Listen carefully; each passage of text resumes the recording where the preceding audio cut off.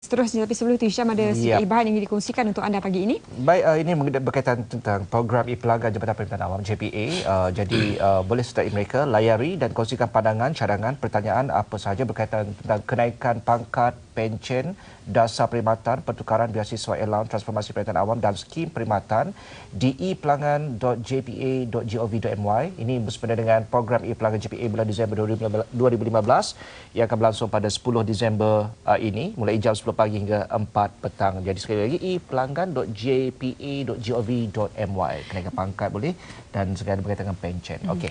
Dan uh, juga berkait rapat dengan uh, pastinya penambahbaikan dan juga hmm. pemantapan sistem uh, perkhidmatan awam.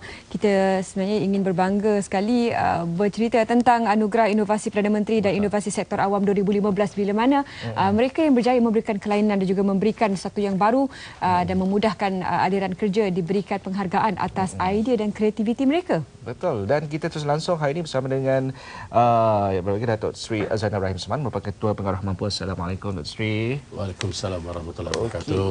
Dua anugerah. Anugerah. Anugerah apa? Anugerah Inovasi Perdana ya. Menteri dan juga anugerah uh, inovasi sektor awam 2015. Hmm. Jadi mungkin Datuk Sri boleh berikan sedikit pengenalan tentang anugerah inovasi Perdana Menteri terlebih dahulu.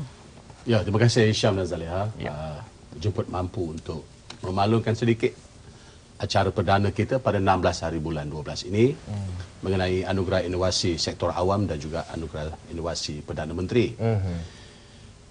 Menyebut tentang anugerah inovasi Perdana Menteri, ianya merupakan anugerah yang sangat prestige bagi uh, semua uh, agensi sektor awam hmm. mengemukakan hasil kreativiti dan inovasi, inovasi masing-masing hmm. untuk dipertandingkan.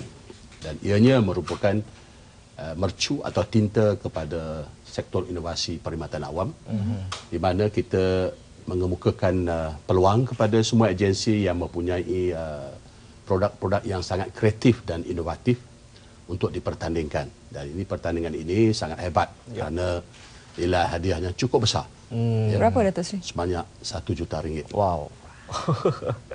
Jadi pasti dengan pemahaman tentang nilai tersebut apa yang diharapkan adalah mereka yang memenanginya adalah di kalangan yang betul-betul yang betul ya. cemerlang terpilih pastinya di kalangan mereka yang benar-benar memberikan idea yang begitu uh, kreatif ya. sebagai contoh misalnya di antara aspek yang diberikan penilaian mm. empat perkara ya. iaitu kita melihat kepada sejauh mana kreativitinya atau mm. kreatifnya agensi berkenaan mm. kedua kita melihat hasil itu mm. berdasarkan keberkesanannya mm.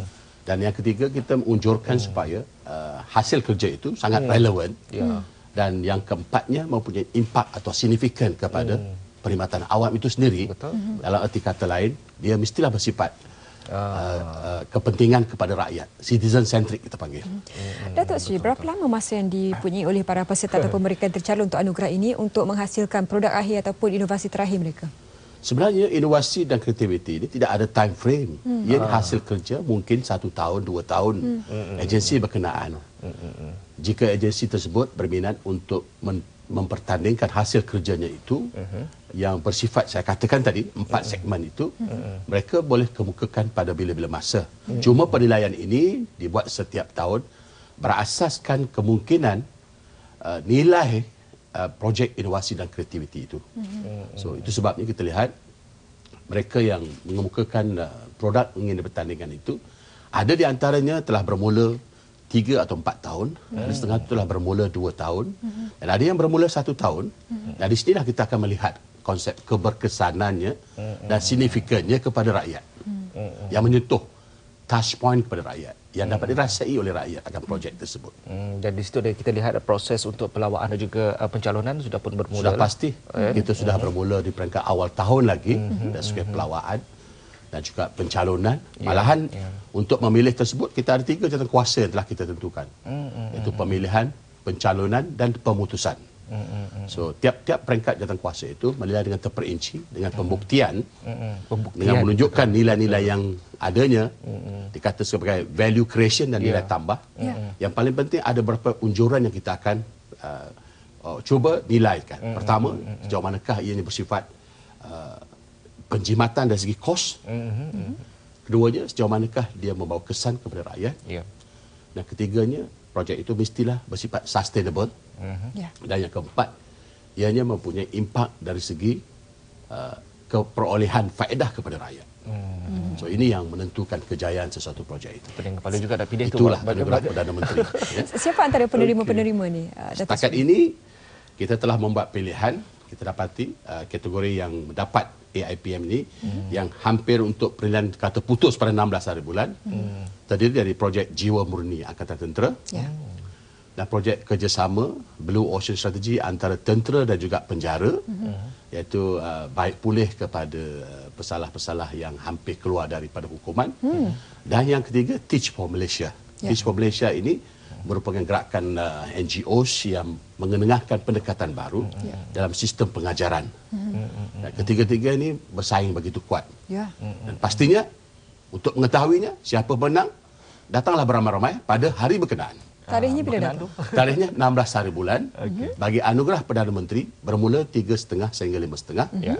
Bagi anugerah inovasi sektor awam bermula dari 1.45 hingga 3.15. Mm-hmm. Ada dua segmen tersebut. Mm-hmm. Segmen pertama daripada pukul 1.45 hingga 3.15 mm-hmm. akan disempurnakan oleh yang berbahagia Tan Sri uh, Dr. Ali Amsar, Ketua Setiausaha Negara. Ya. Manakala anugerah AIPM Perdana Menteri akan disempurnakan oleh Yang Amat Berhormat Perdana Menteri sendiri. Bermula daripada 3.5 sehingga 5.5.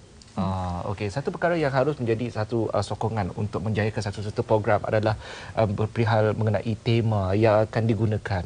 Bagaimana agaknya pemilihan tema itu memberi impak kesan langsung selesai saja macam itu sebab ialah ia akan terus memberikan cabaran lagi ataupun gerak kerja yang konsisten selepas program itu. Datuk Seri. Dari segi dari segi uh, ungkapan ataupun hmm. tema yang kita bawa ialah dari segi transformasi dan kreativiti. Okey. Secara langsung, ianya memberi kesan kepada semua pejabat awam. Hmm. Tuntutan hari ini ialah hmm. kelainan, Ya. Kelainan. perbezaan. Betul. Tidak seperti dahulu yang kita hanya menekankan kepada konsep-konsep tradisi kita mengenahkan Hmm. segala-segala yang bersifat baru. Hari ini rakyat begitu uh, teruja untuk melihat apakah pendekatan baru yang begitu sistematik dan juga cepat dan tepat untuk rakyat memperoleh sistem penyampaian itu. Jadi mampu sebagai satu agensi pusat sentiasa memikirkan bagaimana kita ingin melakukan perubahan Betul. sejajar dengan permintaan rakyat yang ini dikatakan sebagai transformasi sistem penyampaian perkhidmatan awam.